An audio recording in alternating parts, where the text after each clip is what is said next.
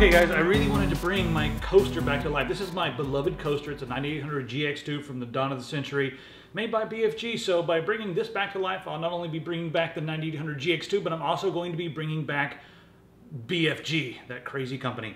So what you guys need to do, um, you guys can do this at home if you have a, a, broken graphics card. All you need to do is take this and put it into a toaster oven for about 15 to 20 minutes. And what's going to happen? It's going to it's to reflow this solder. Uh, sometimes the solder joints they they come loose or they don't they're not they're not touching anymore, and then it doesn't work. So we're going to try reflowing, and hopefully we'll get this relic to work again.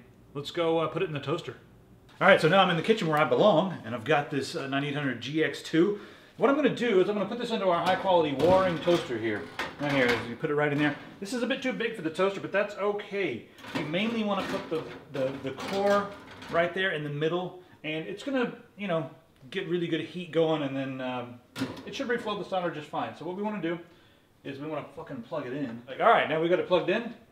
Uh, you want to put this on bake, not broil, because you want to heat all sides. The fans may melt a little bit, but that's just what happens when you put things in a toaster.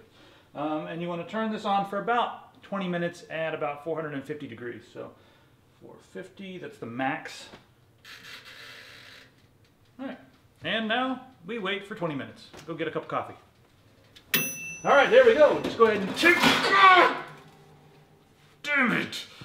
Take it out and put it back into your computer. You should probably let it cool down first.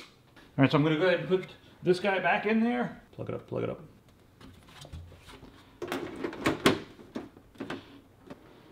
Well, it's not working. So that didn't work. I guess this is still going to be my coaster.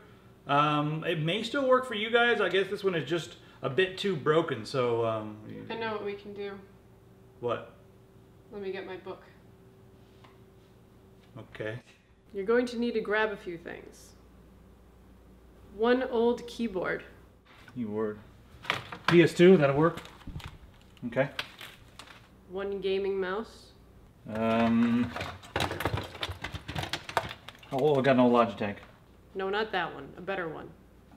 Um, this thing from Japan, or no, this is from China. It's called it's a, it's a Haft. a better one. I think this is gaming. Um, okay, I got this new Venus.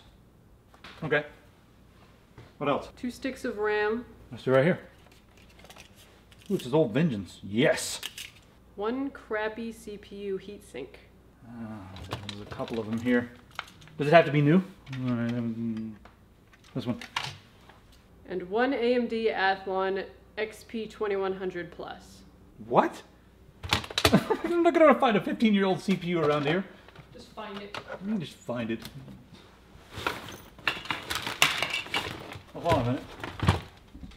What do you know? 2100 plus. Now we go.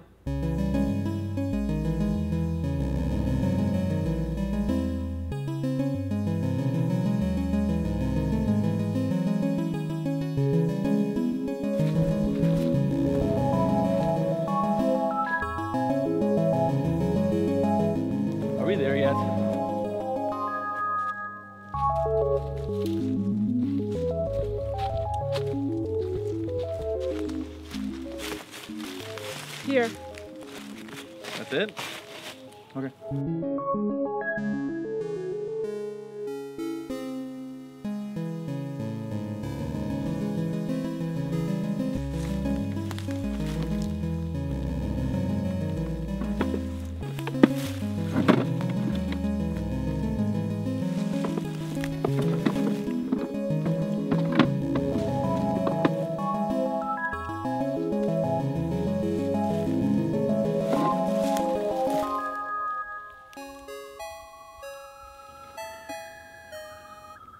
What me do with this? Place this in the middle. Okay. Is this supposed to do anything? Jesus, fire.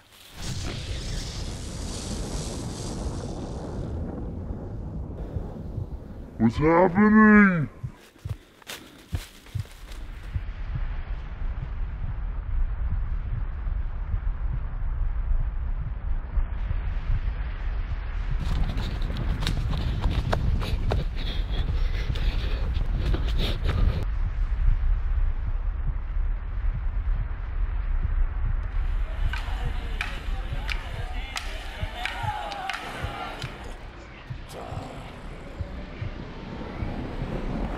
Not right.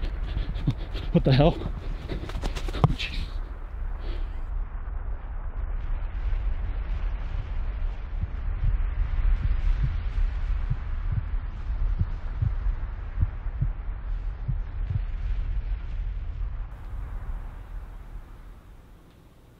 Dude, we are on the couch.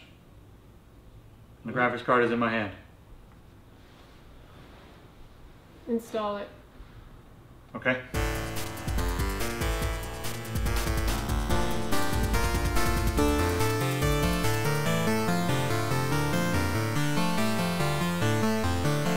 Come on.